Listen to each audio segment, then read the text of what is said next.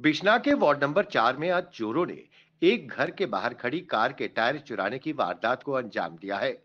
चोरों ने यह कार्य गत रात्रि किया। इस बारे में पुलिस को सूचित कर दिया गया है। हम आपको बता दें कि बिश्ना इलाके में पिछले काफ़ी समय से चोरों द्वारा चोरी की वारदातों को अंजाम दिया जा रहा है। मगर पुलिस ने अभी तक चोरी की किसी भी मसले को हल करने में कामयाबी नहीं पाई है। इसको लेकर लोगों में पुलिस के प्रति काफ़ी रोष देखा जा रहा है। ब्यूरो रिपोर्ट जेल के मीडिया जम्मू। नाम मेरा सुशील सैनी है। तो रात को गाड़ी यहाँ पे मैंने पार्क की थी। तो सुबह हमें किसी के थ्रू पता चला कि दोनों टायर जो हैं वो गाड़ी के अवेलेबल नहीं है। उसके नीचे ईंट पत्थर वगैरह लगा के चोरों ने दोनों टायर उड़ा लिए। फ़र्स्ट टाइम गाड़ी बाहर थी और फ़र्स्ट टाइम ही ये सीन क्रिएट हो गया। क्या आपने पुलिस को सूचित की है हाँ हाँ सुबह मैंने कंप्लेन कर दी है। पुलिस वाले आए थे चेक वगैरह करके गए हैं। अब देखो। क्या कहना चाहेंगे जिस तरह से रोड के किनारे ही चोरी हो गई? तो ये और है भी टाउन में ही। यही है कि थोड़ा लोगों को अब थोड़ा अवेयर होना पड़ेगा। अपनी चीज़ों की सुरक्षा खुद ही करनी पड़ेगी। कोई भरोसा नहीं है। कब? हो सकता है कल को किसी आपकी गाड़ी ले जाएँ। आज मेरे साथ हुआ है। कल को गाड़ी ही ले जाएँ।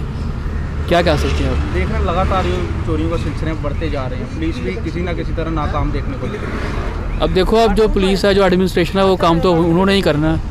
हमारा काम था सुबह उठ के कंप्लेन करना। कंप्लेन हमने कर दी है। अब आगे की कार्रवाई देखो वो क्या करती है। यहाँ रोड पे कहीं सीसीटीवी फुटेज आपने चेक किया? सीसीटीवी है एक सामने भी है एक बैक साइड भी है। अब करते हैं चेक तो पुलिस आई थी पुलिस ने कोई चेक वगैरह पुलिस ने चेक नहीं किया। पुलिस अपनी कहना चाहेंगे जिस तरह से एडमिनिस्ट्रेशन को से क्या कह सकते हैं आप जो होना था वो हो गया। देखो। मैं सतीश शर्मा, कैमरामैन गुलशन कुमार के साथ तो इस वक्त खड़े हैं हम बिश्नाह के बार नंबर चार में।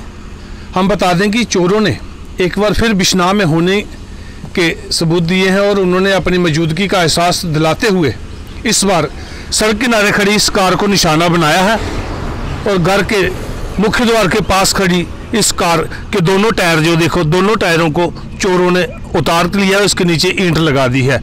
हम मैं कैमरामैन से कहूँगा कि बड़े नज़दीक से दिखाएँ। ये देखो दोनों साइड के जो टायर हैं जो दोनों उतार लिए हैं और इसके नीचे पत्थर लगाकर बोरफू चक्कर हो गए।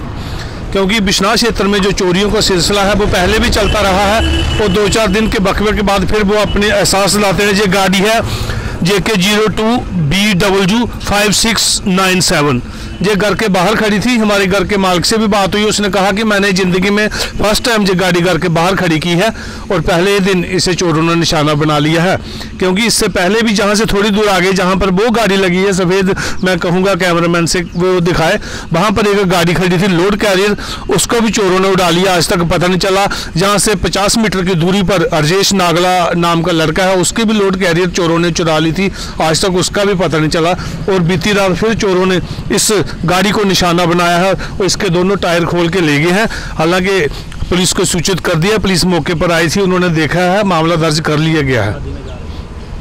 तो ये परिवार जो है, इनके घर शादी है। इन्होंने अपनी बहन का शगुन लेके आज जाना था। अब मजबूरन में उसने किसी दोस्त की गाड़ी मंगवाई है, उस पर वो बहन का शगुन लेके गए हैं। ये शादी वाला घर है, हम दिखा दें। इसी घर से ये गाड़ी है और ये जहाँ खड़ी है, आप देख रहे हैं, दोनों के टायर नहीं है। चोरों ने इस कदर क्षेत्र में आतंक मचाया हुआ है कि पुलिस का, उनको कंट्रोल करने का जो सपना है, वो अधूरा ही रहता दिख रहा है। चोरों के डर से लोगों में काफ़ी दहशत है। और लोग जो भी चीज़ बाहर छोड़ते हैं, या तो चोर बाहर से उठा लेते हैं, नहीं तो ताले तोड़कर लोगों के घरों में घुस जाते हैं। बिश्नाह क्षेत्र में इतनी चोरी की घटनाएँ हो रही हैं कि लोग अब भयभीत हैं। लोगों का मानना है कि पुलिस अपनी गश्त तेज करे, ताकि चोरों की इस कार्रवाई को रोका जा सके, चोरों के आमतों को रोका जा सके। बिश्नाथ से कैमरामैन गुलशन कुमार के साथ, मैं Satish Sharma. For more updates, do subscribe our YouTube channel and don't forget to hit the bell notification icon. And if you are watching this video on Facebook, do follow our Facebook page.